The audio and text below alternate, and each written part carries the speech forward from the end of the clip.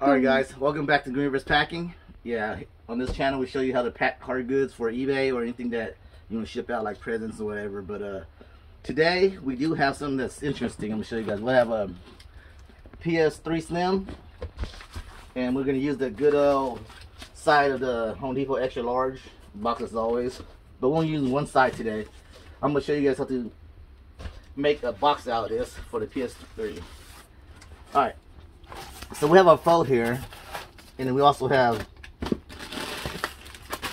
the controllers and the wires, right? So you look at here, you put the if you make a box for it to fit with the controllers on top, you can't possibly fold this over to cover this stuff.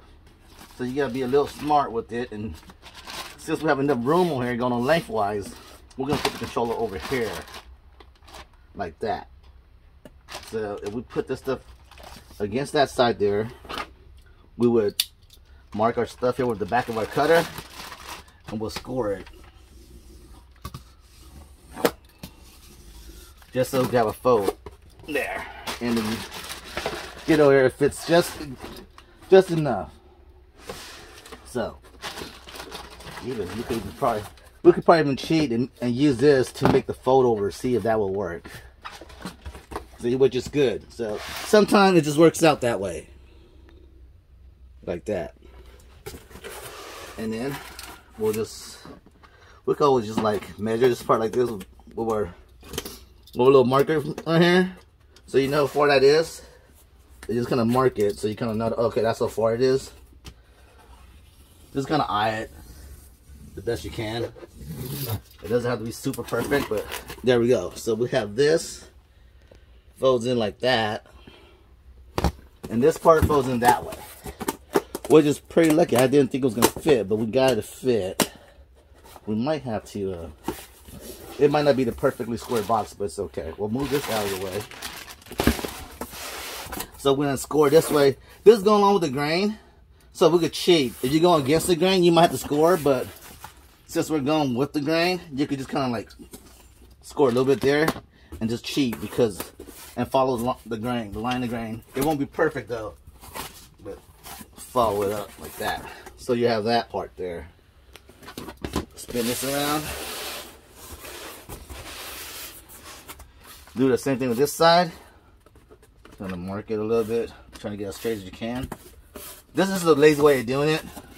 If you're not used to it yet, you should just go ahead and score it like always. So, go right here.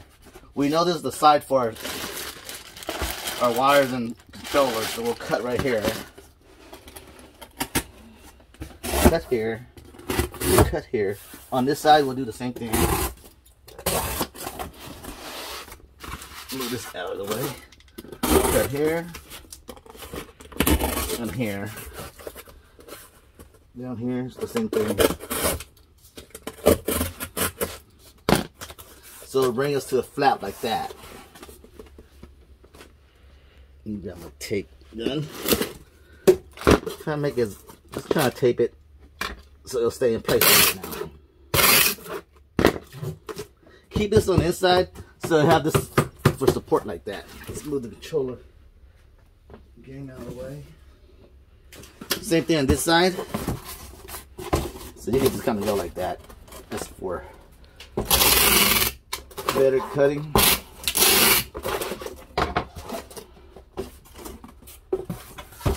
this side.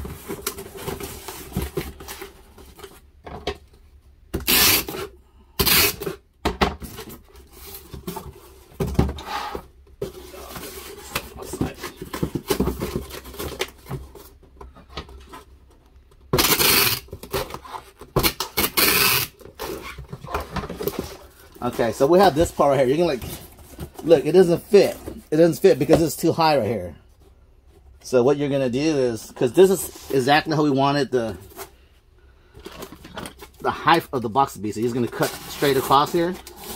Straight there. Just take that out. Just bend it back a little bit. If it gets in your way, just bend it back. Same thing here. Go all the way across here. So you have a little tub like tray stuff here.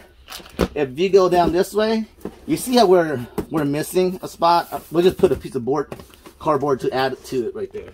So we'll put our console in.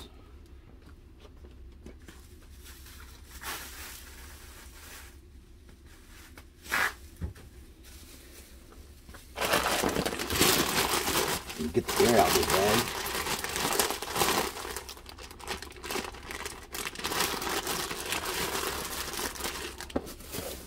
I'll wrap it up with some bubble wrap also. Takes it right in here.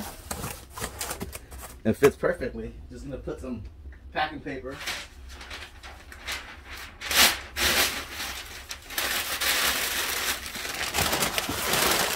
Right on top, just so it won't be so loose.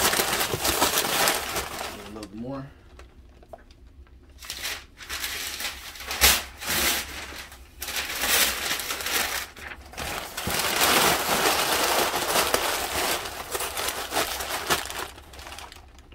So what I really wanted to show you guys today was that when you're making your box and you're short like that, don't worry, there's no need to panic. You know, you can always just put, see, four processes. Just put something in between. Get an extra piece like that. It's a little bit too long, just mark it.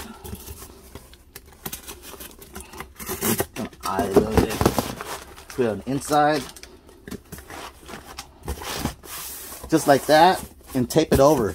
Right here is, is too long leaf here, so we'll cut here. Yeah, so there's no need to panic when you're a little bit short on your boxes sometimes. It's just okay to just add a little piece of...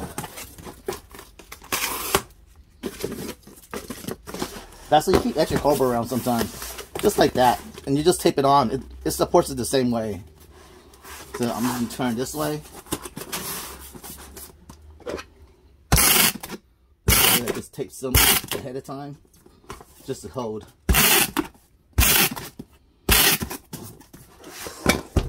Just like that.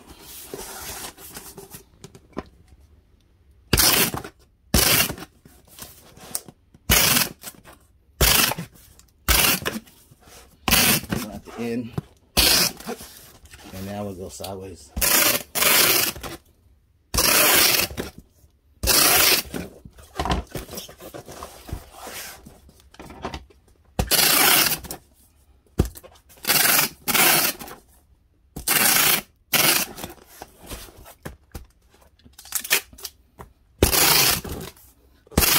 Just tape right over that, that open seat.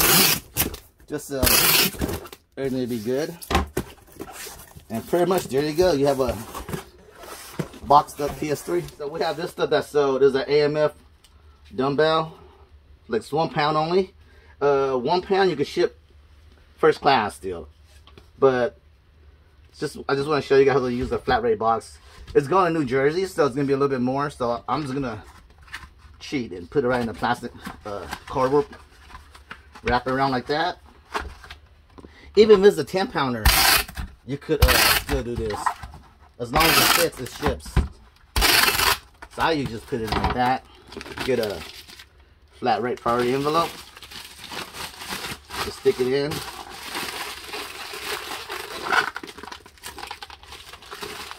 And there you go. Shipping out things that are heavy, you can put in this stuff and it'll work for it. Saves you a lot of money. Like, subscribe, and share.